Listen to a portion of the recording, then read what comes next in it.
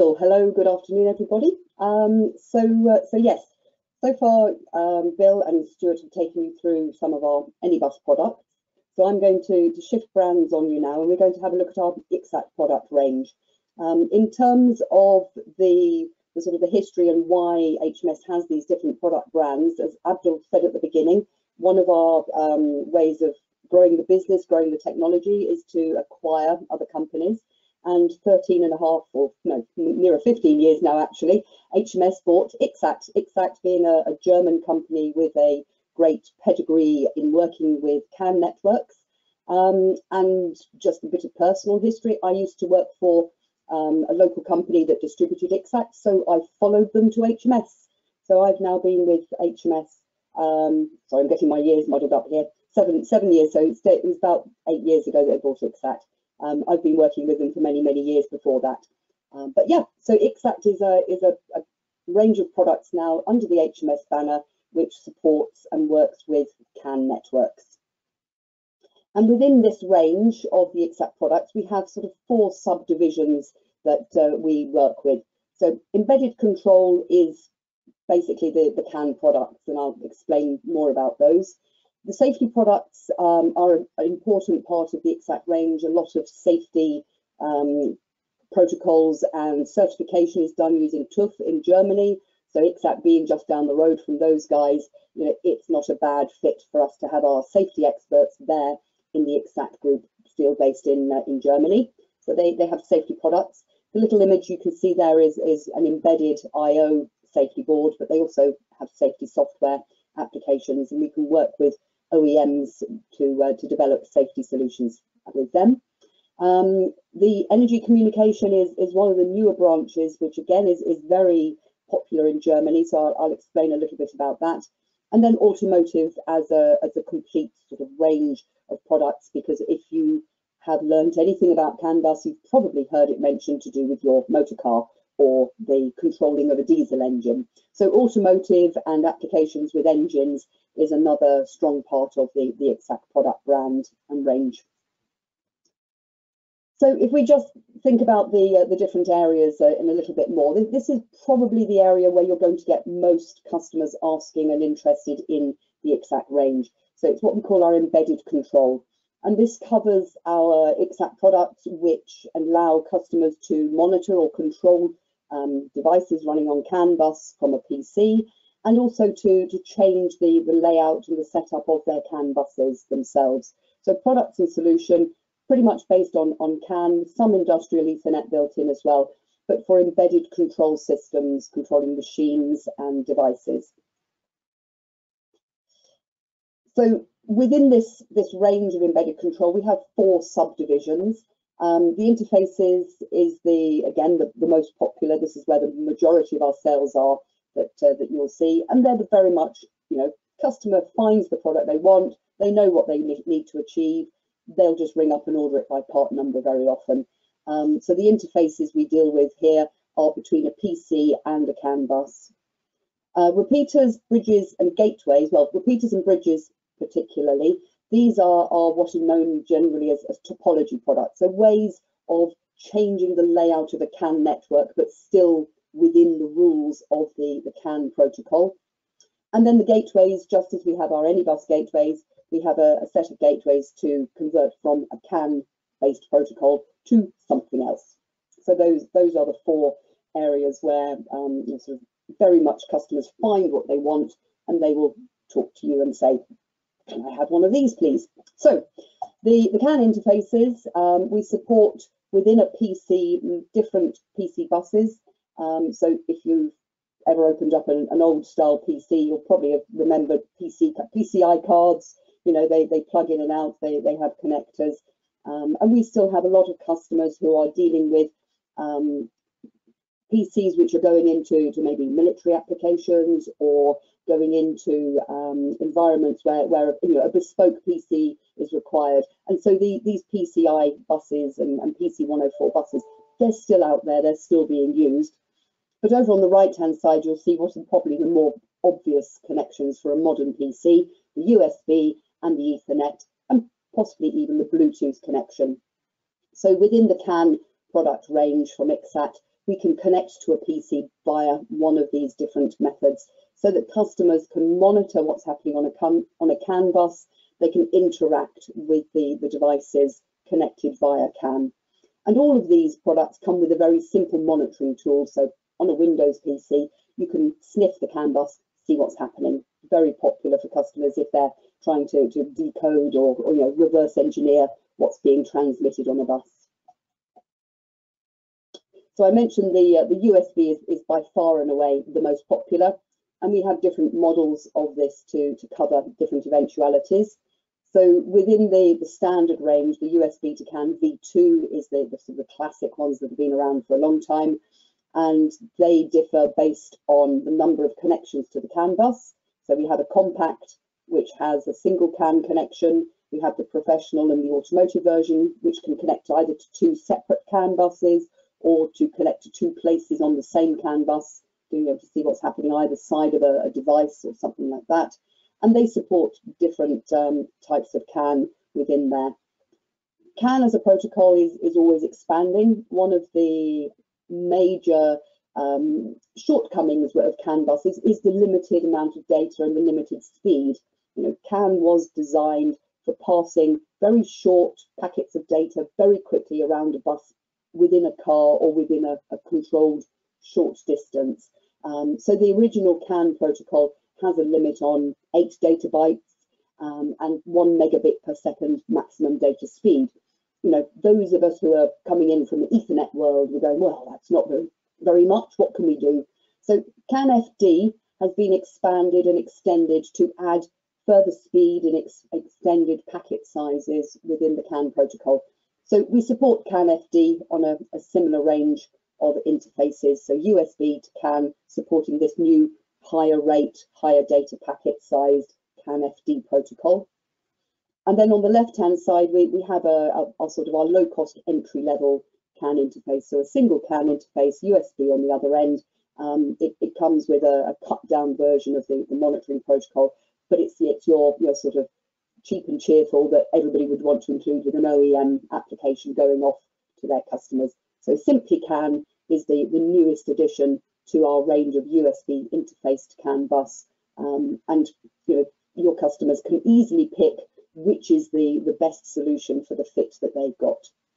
So we try to offer the best interface no matter what the application. Okay, so here are a, couple of applications. Okay, um, Bombardier, uh, they make um, all sorts of wonderful, interesting uh, vehicles for, for hobbyists, so ski-doos and um, you know sort of water water-based craft, um, you know things on four wheels. They've designed in a, a manufacturing um, requirement to be able to, to do diagnostics for their service team. So they've got a CAN bus. These are all based on, on an engine which uh, which has CAN bus in it. So they have branded a version, they have an OEM version of our USB to CAN interface which they sell internally to their service partners, enabling them to use a laptop, use a computer to do diagnostics and service testing on these vehicles when they come back in. So it's a solution partner, you know, the partnership has been going for many, many years, um, and we've sold many, many hundreds of these USB to CAN through Bombardier in that way. On the right hand side here is uh, another type of solution. This is a, a more built-in solution. So within the ticket machine, um, they, they want to be able to, to create a, a simple controlling and um, uh, monitoring solution again. So they're using a field bus network rather than a point-to-point -point cabling, and the CAN bus gives them that. Um, within the, the ticket machine, they're using little I.O. boards that we've developed for them, as well as our, our standard USB to CAN as a controller interface to, to enable there to be a PC within this ticket machine itself, controlling the, the other functions of the machine. So machine communication within a, a device or an external connection for monitoring or, or for diagnostics of a, of a device. The, the, same type of interface can apply to, to both sorts of use case. Within the automotive side, again, you know, we, we do a lot of work with, uh, with test systems for, for engine manufacturers.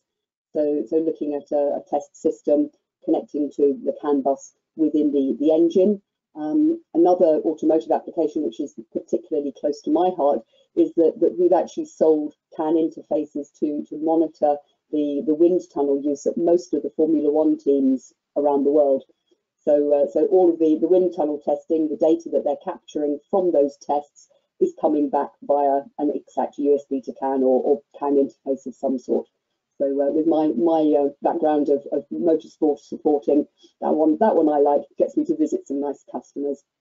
Um, machine communication on the right here, we're, we're looking at a, an office uh, PC controlling a system to keep the uh, the price down.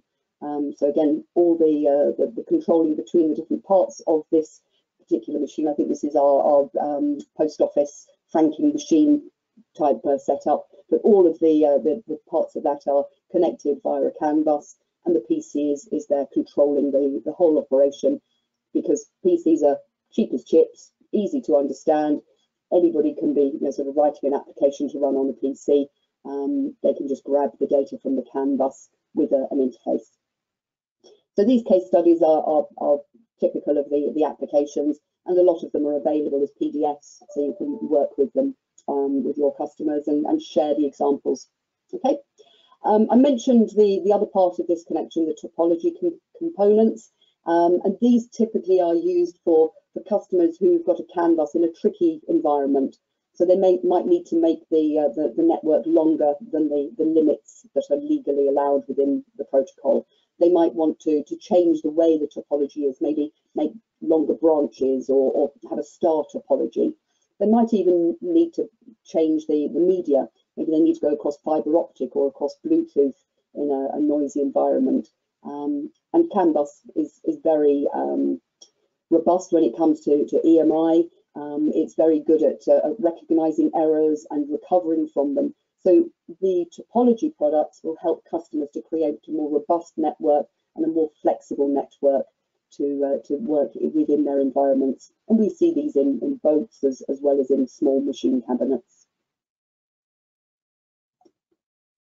Sorry, went one too far there. Okay. Um, so there are different models. I, I, you'll get the presentation. I won't dwell on these. Um, very often, again, you know, the customers will probably find the, these solutions themselves. Um, but the, the thing with a, a, lot of our topology products is that they allow you to do things like filtering and conversion of the data. So Stuart mentioned earlier that our Anybus gateways, generally you can't do any data transformation. Within the, the IXXAT products, the configuration tool does allow you to do conversion of the data. Um, and the, the bridges and the gateways will, will also do conversion to other protocols as well. So this one here mentions you know, MQTT, the, uh, the protocol that a lot of people are starting to use for very low cost data transfer. Um, the, uh, the, the, versions of the CAN bridges which complete, which are um, connected via Ethernet, they have things like MQTT built into them. Okay. So some examples of, of the sort of applications of those, um, you know, setting again up, you know, sort of machine communication, being able to extend across areas where there's a very heavy EMI um, and the, the CAN bridges there could create shorter lengths of network um, that were robust within themselves and extend the overall end-to-end -end cable length as a result. Uh, in the building automation side, um, we've got, you know, again, we've got a, a long CAN network required for a top to bottom elevator within a, a building. And uh, in this example, again, they needed to extend the, the length of the CAN bus, increase the number of individual nodes past what is allowed within the, the protocol. So breaking a network down into smaller segments allows them to create what is logically one end-to-end -end network, but physically has been broken into smaller lengths which can run at a faster speed. Within the uh, the maritime, again, we have um, we have dedicated applications that, that customers working with uh, with maritime solutions can use. Um, but as much as anything else, our, our standard CAN bridges and CAN repeaters again can be used for for this type of application very easily. Um, so you know, again, the filtering and the changing of the the topology of the CAN bus is, is what all of these customers um, chose the IXXAT products for. Um, gateways very similar, very similar to the, the Anybus version, so coupling from a, a CAN bus to a non-CAN bus type um, gateway with all the same you know, advantages that, that it, Stuart and uh, Bill have already gone over. So I, I, won't dwell on the, the reasons there, they're the same ones. Um, the CANnet is, is our most popular one going across to, to an Ethernet gate, um, Ethernet to CAN bus gateway. Um, but we also have versions to, to support particular protocols like um, Profinet, or I mentioned you know, MQTT and things of that type. But these all come with, as I say, very simple to use configuration tools, which allow you to do data manipulation and, uh, and convert and change data formats from, uh, from one side to another. And some, uh, some use cases for those as well. We've got lots of use cases and we can we can give details if, if something strikes you as being similar to the customers you're talking to. But you know, CAN bus is very popular in building automation, is very popular in medical applications, um, and it's very popular in the environments where there's you know, a lot of noise or, or distance required. The um, the next part I, I just wanted to, to look at, spend a little time on is our IXXAT energy communication products. Um, we're seeing a lot of um, situations where customers are, are, needing to feed back into energy networks. Um, so things where customers are talking about smart grid, um, we're looking at uh, in, in industrial applications um, where the utilities and the industrial networks need to be able to share data between them. So this is a, a gateway solution and the, the, typical applications are within power supply, rail network supply and, and industry. And the SG gateway uh, will cover protocols that work within all those three different areas. So some of the examples that we, we've got here, um, use cases is, the easiest way to work with. Um, you'll see some of these numbers flying around. So Modbus, yeah, we're, we're usually pretty happy about Modbus. Um, we're looking at PLCs, which are talking, yeah, Profinet, Profibus, yeah, that's great. Then we start getting all these strange numbers, 61850, 6870-5. These are the, the smart grid protocols and uh, often the, um, you know, the SCADAs and the systems that have been set up to, to monitor and to work with these will only be talking this protocol, not the Modbus or the Profi that, uh, that we know and love within our industrial networks. So here we're creating the gateway to, to share the data from one side to the other and, uh, and give our customers the ability to, to report and to monitor what's happening within the, the different environments. So, you know, substation automation, remote automation, automated substations using PLCs, you know, they need to be able to convert. Um, monitoring energy consumption. So the, the gateway will, will allow factories to, to monitor consumption at different times and the PLC can then control the use of the equipment for, for off-peak hours and things of that type. If you have any, any applications where customers mention um, sort of smart grid, mention these energy protocols, um, probably I would suggest you contact us. Uh, we've got uh, within our, our local HMS group, we've got um, sort of a team member who, who is very hot on on this and, and can work with directly with your customers to help you identify the best solution and, and get them the products that they need. Um, so we're, we're very you know, sort of very keen to, to make sure that the, the, the approach is, is right. This isn't a, um, a network style, which is very common and very known, very well known in the UK yet. You know, so we, we're prepared to, to give you a lot of support on on these uh, these gateways and these protocols. Okay, I mentioned the functional safety. Um, it's really just here as a as a reminder. It's possible if you have customers talking about safety. Um, typically, these these will go into the OEMs uh, who are developing their own safety applications. But of course, you know, with the, the PROFIsafe um, offerings. You know, we, we do a lot of work with customers who need to work with those safety PLCs.